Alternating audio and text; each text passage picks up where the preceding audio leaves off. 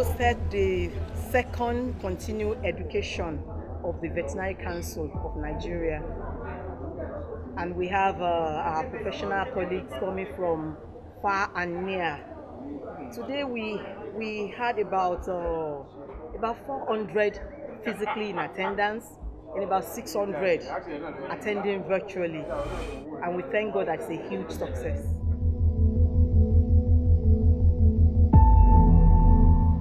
We are veterinarians and um,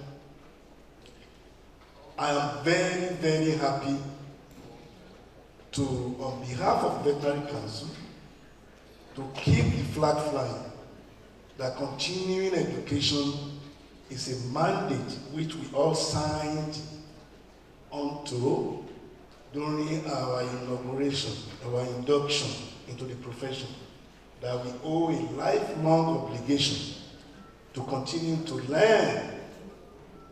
So anything that will stop learning has ended development, has ended growth. So that the flag is flying is very good for us. I must recognize that there was a very big pushback on several platforms against the hosting of this particular CEP or CPD because people felt uh, we were good enough with the virtual program that we've been having, and we had one in July. And because this particular edition is also kickstarting the use of credit points for the issuance of annual practice of practicing license, APA. We have taken all your comments into consideration, but we know that for the benefit of the profession, this is the right way to go. Veterinary Council of Nigeria, I want to say a very, um, I mean, we are very warm welcome to each and every one of us, those that are physical and those of us that are virtual, um, to the first hybrid Christian uh, continuing education. Since we came on board, this is the first time we are having physical meetings. Uh, so, once again, the protocols uh, our very amiable resource persons that have traveled far and near to come to Ibadan. Uh, the chairman of the continuing education uh, um, committee and his very wonderful and committed team, very resilient, I must also say. Other council members that are here, present either virtual or physical, and our very eminent uh, dean of the UI, who is also celebrating her birthday this morning, Professor Davis, the chairman of the LOC and her team that have uh, put in this very beautiful place together to welcome our participants to Ibadan. When you talk about veterinary education, I think you are on the right side. So developing these skills, that's why I said we need to open our minds. Most of the time as human beings, one of the things we see are the obstacles. Oh, the veterinary curriculum is already overloaded. We know how it is, it's bad and all that. But until we have an open mindset, we won't be able to admit to what we need to tweak.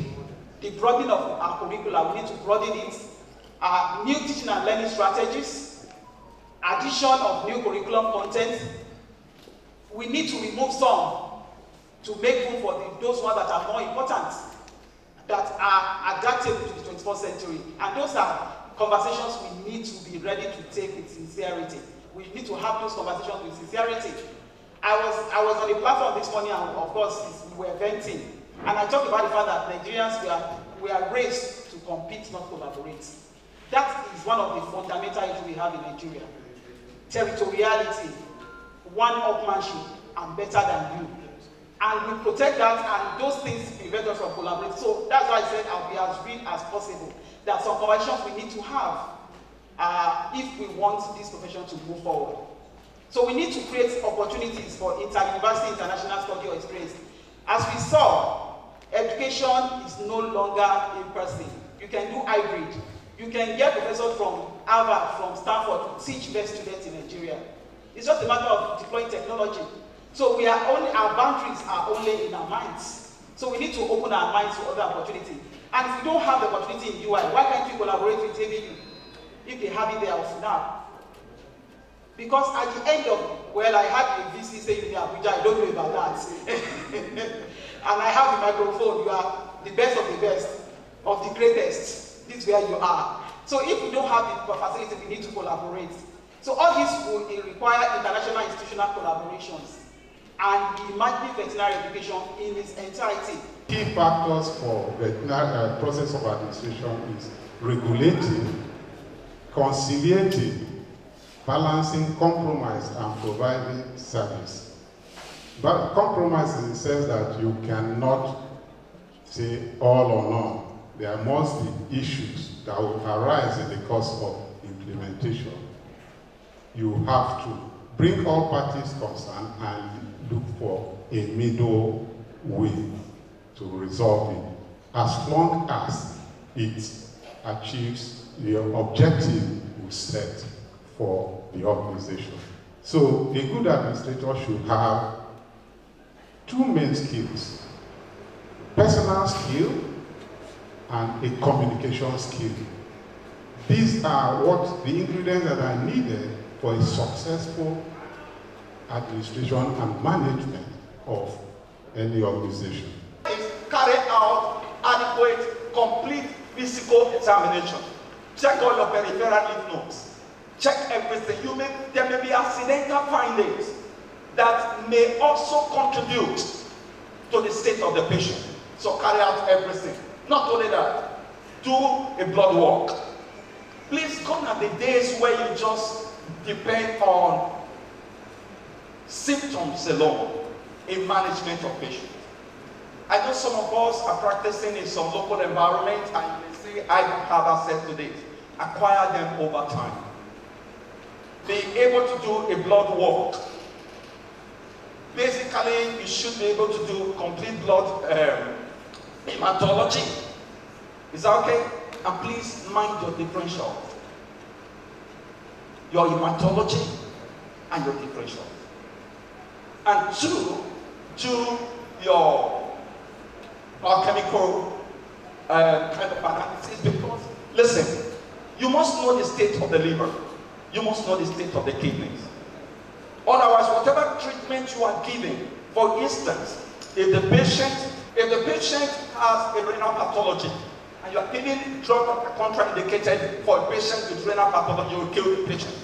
And isn't the disease that killed the patient, but you are the one that killed the patient. How do how will the veterinarians remain, you know, relevant even like by that year 2030 when the robotics supposedly will have uh, taken most of the profession? Because I like even you union bank have come out to say by that year, no single human being will be working in the bank. The robots will take over everything. Thank you. Now, I think basically your comments have narrowed everything down to education. So I would ask the VCN, because if you look at it, that's where we get it right and that's where we get it wrong. So how does the VCN intend? You don't well, you started well, but we need a whole lot more. How do you streamline the curriculum of veterinary education to make it more relevant to present times? Now, how do you make sure, given the responsibility of managing your students, have the prerequisite knowledge in terms of present tense to be able to deliver to society the kind of veterinarians that they aspire for. should be open. One of my grudge is not about culturality, it's not about veterinary medicine alone, it's a Nigerian thing. There is no reason why we cannot bring here to teach. What you don't have, you cannot give. And it starts from even when we are talking about curriculum, we are preparing for the industry. Those were some of the things I did as a deputy vice chancellor. Our curriculum should not be written by us alone. We should bring people from the industry and say, this is going to serve you. So if you are talking about doing things, then we need to do it. And that's why I'm talking about sincerity. When we are discussing. Let me give you an example.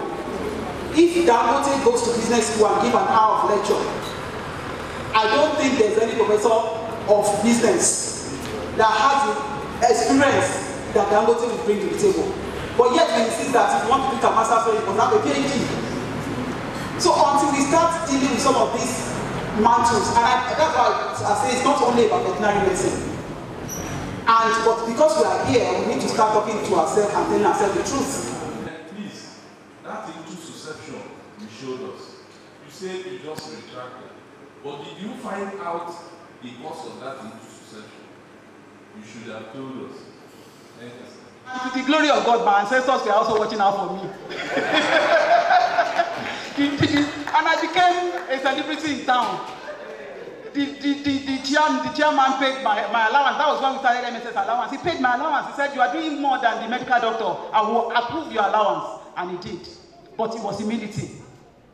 If I had, you know, became a doctor and I was, you know, doing all this, the man would have shown me Pepe.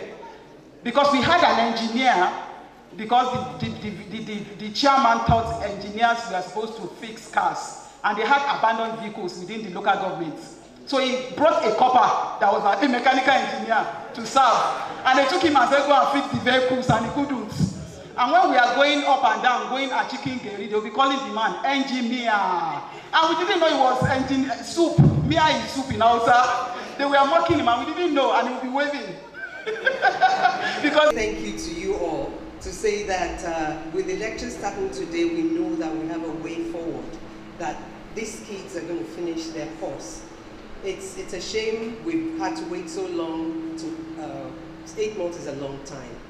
So you need encouragement, but the students also need encouragement.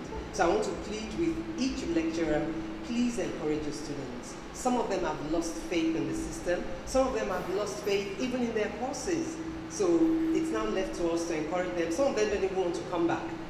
So for those who have come back, we will need to ask them to encourage their mates to come back and finish their courses. Because the last thing you want is people who start a course and never finish. So it's just a short visit just to say thank you for coming. Thank you for starting lectures today. We're very grateful. And the VC sent me, he actually, you know, chased me out of the office to say, go and greet them, go and greet them. Thank you very much. It's something that I designed myself. It tries to explain in summary how a design of a farm should be when you want to handle your biosecurity issues easily. Where you have a lot of people coming to the farm, as soon as they get into the farm, they turn right and everything they need to do is there. The administration, people to talk to, everybody is there. From that point, you walk out. The moment you take your first turn to the left, you are going into the operational area. And the first thing you are going to encounter there is the feed mill. Then after is the feed storage. So you have no business going into the farm proper. And inside the farm, there are plots. Each plot will contain the number of big, big houses you want to contain. Then that arrow going up at that end is the incinerator. And at this end, near the car park, is the processing plant. So that the moment you get your product, they're leaving the farm. They come out to the car park and they're taken out of the farm. So if you're just coming to buy pork, you have no business going into the production area. To do that, what we will do is to try to attempt to uh, design what I call the perfect dairy cow. Okay? The perfect dairy cow that can give you the maximum production. And now, like I said, I'm going to be biased. I'm going to talk about the exotic cow mostly. Okay? So, designing the perfect dairy cow or dairy farm will have to start from the design of the farm itself. A lot of times, farmers um, and dairy producers call the vets in at the tail end, just when they started suffering diseases. But we should start with farm location, design, and the infrastructure in place. These are all important if you need to get this production to 60 liters or 40 liters of milk per cow per day. A good environment, of course, is equal to high production. protection from the elements, rain, sun, and everything. But above all, nutrition and management. Next slide. We are still designing the perfect cow. Now, a lot of dairy farms do not even have protection against the elements. Every dairy cow will need protection against adverse weather conditions from heat to cold to um, direct sunshine and the rest. Next. Change. This is another important challenge in equine practice. Horses, like other mammals, react badly to extreme of weather. So horses should be sheltered from extreme weather shifts. Um, some Argentine horses imported to Nigeria, especially in Lagos, they are kept under, in fact, they sit put fan inside the stable so that they can cool down. And so they wet them with cold water to check the temperature to avoid heat stroke. Another problem we have in equine practice is quackery. Quackery. This is a very serious and common challenge in equine practice. Some grooms, stable boys, and animal handlers, because of their confidence in equine handling and restraint, parade themselves as equine practitioners. They charge less, abuse drugs, inflict septic trauma, and cause death of equine patients. We have made noise sometimes ago. If government, you know, is ready to buy over either the animal that are sick or dead, the dead or sick animal will not find its way to market. Is there a compensation or a buying over? Because like you said, in Ethiopia that you, you mentioned, even Kenya, they buy over animal that are sick so that it doesn't go back to the uh, to the market. Actually, um, make some comment. Um, I was part of a team that uh, investigated or did surveillance on uh, pig, uh, even African swine fever in Oyo State, and uh, we discovered that um, some of these pigs that are infected and were dying because uh, from what we learned, government doesn't has not been compensating them. So for that reason, as uh, those um, farmers, as they are losing their animals or they notice that the uh, animals are showing signs, they decide to sell, then they just sell them off to people who will consume them. My question is on uh, diagnosis. On many locations where we are invited to farms to investigate uh, disease conditions like this, when we take samples, we send it to NVRI. It takes for like forever before we get the report back. Sometimes the farmer must have even closed the farm. And maybe by the time the farmer struggle to restock again, or maybe the neighbor has a similar case, the farmer is discouraged to even report such condition because in the first case, he never got a result, or if there was any result, it came very late. So I don't know what NVRI is doing about this. In my village and even my state capital, people just start their pig with their poultry. Anytime, anywhere. Nobody comes to, to, to tell them that you need permission, you need this is not the appropriate place, or this is where you shouldn't do it. Nobody does that. If I just feel like starting a piggery now, I just build one. I don't care whether my neighbor has pigs. I can go and just buy infected pigs from somewhere and come and stock and start an outbreak. You know, and moreover, some places you even see the pigs roaming the streets, eating from West dumps. Being your brother's keeper in markets, I don't think that is going to happen here. So everybody is struggling to sell his own pig, and, and even the market authorities. You know, I think that if all stakeholders are involved in the control of this disease, we should be able to get rid of it. I want to thank everybody for this session. Thank you very much. I want to believe that you have enjoyed this session. And I want to thank you so much also for this, uh, attending this CE. I want to believe that you've got value for your money. Thank you, everyone. Thank you for coming, and God bless you. Oh, the next one, next year, you'll come again and again. Thank you. We want to thank also the CE committee. Thank you also. Thank you so much. We are so, so, so, so pleased to have you. God bless you. and we wish you safe trip as you go back home.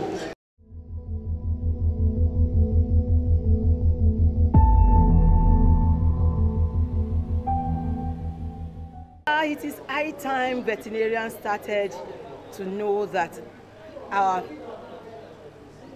field is not just dogs, cats, elephants, but then we are also involved in aquatic and wildlife medicine. And that's why this workshop or this uh, continuing education is all encompassing. We have the wildlife section, we have the you know aquatic section, we have the public health section, and we have uh, the uh, equine section. So it is your choice. You actually attend what is your choice. And this is a unique one because this is the first time that this present council is organizing a physical continuing education. The participants should just go and do likewise. They have gone through so many training today and I believe value has been added to them. So they should just go into their field, everybody going back to their workplace and applying what we have learned today. And we know they can never remain the same. Veterinary practice is a profession. You know, we are doctors of animals of all types and doctors of human beings in another way. Because what we do in public health, for instance, is uh, to knowing fully well that most diseases in human beings, to the extent of 75%, are traceable to the sources in animals. So if you take care of animals and make sure they are healthy and good enough, and if you also make sure that animal products are safe for use, wholesome to eat by man, most of the diseases in man do not occur. So we contribute very well to a healthy population that is required for the development of the country. Uh, this is the VCN organized continuing education. And according to international best practices, it is expected that every professional undergo continuing education annually to update their knowledge and skill. And so as veterinarians, the Veterinary Council of Nigeria is organizing this and we do it twice a year to give people opportunity who miss the first one partake in the second one. And without which currently they will not be able to register annual policy. As an administrator, it is through effective administration that you could be able to generate policies that will now be accepted by government to develop the industry. But for you to be an effective administrator, there are two basic policy uh, skills you need to acquire. One is the personal skill, such as you have to practical, you have to be modest, not too much. You equally have to have foresight and good sense of judgment, and have the ability to concile, be reconciliatory, and compromising issues to be able to and be service yielding because there are contending issues for government and so if you are, have an issue that conciliatory attitude and compromise attitude will make you reach a consensus that will advance the objective. The approach should be uh, multi-sectorial and uh, multiple approach to improving dairy production. Uh, you know that most of our milk comes from local cows that are being kept by pastoralists around Nigeria. And they own most of the cars we actually have in Nigeria. But uh, if we have to drive this number down, uh, then we have to be innovative and create new ways. And one of the ways is that we have to have uh, advanced dairy farms. Uh, by advanced, I mean farms that have cows that will produce 40 liters and above of milk per cow per day. Uh, the exotic breeds of cows are one of the solutions. I'm not saying we should discard the local cows, we shouldn't, but uh, we should uh, bring in exotic cows, do artificial insemination, and improve the genetic makeup of our local cows. But also, we should train local farmers on uh, modern dairy farming and better management. Because even with the local cows, instead of having the two liters per cow per day, uh, with good management, we can drive these numbers up. is very possible. Talking of equine, equine means it's an adjective word that is derived from what equus, and that is relating or affecting horse and other members of the horse family, including donkeys and zebra. The government in, uh, with uh, FAO had organized a workshop two years ago to get uh, farmers, pig farmers together to let them know about the disease and ways to reduce the impact of the disease and how to prevent uh, pigs from getting the infection. Um, and uh, anytime there's an opportunity, we teach our students in school how to manage the disease, how to control the disease when they they are practicing virus pathogen. And now that the veterinary council is also uh, organizing this continuing education, and uh, diseases like African swine fever have also surfaced. It is an opportunity to bring our graduates who are already practicing more aware of the disease and methods that we need to adopt in order to control it and uh, protect our pigs uh, coming ahead of. Again, you can have encourage mass education through the mass media.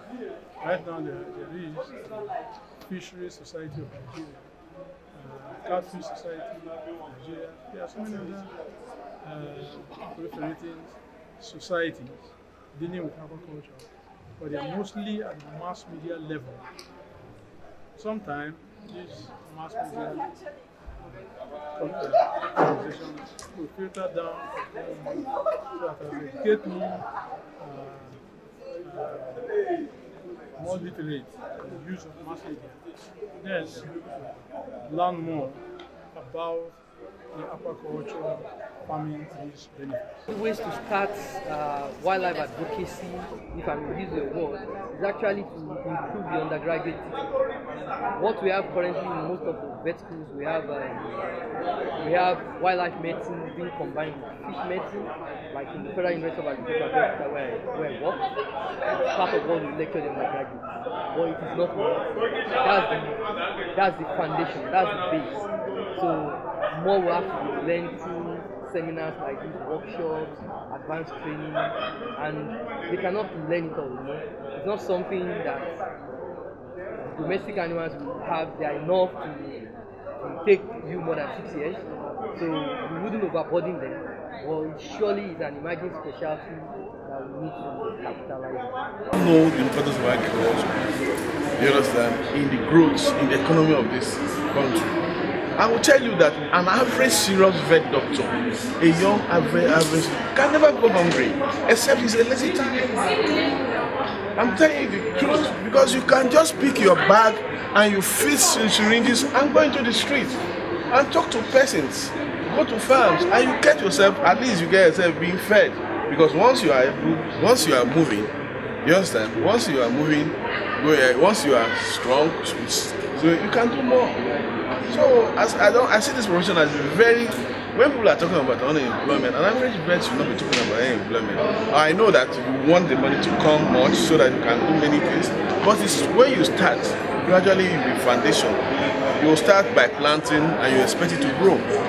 Over time, you will get there. Education, well, from uh, what we have seen so far, I think uh, the council is actually meeting to our expectation because uh, prior to uh, graduation, uh, some of us never knew that there is this kind of activity for the body outside the, school. Right now, we are beginning to see it.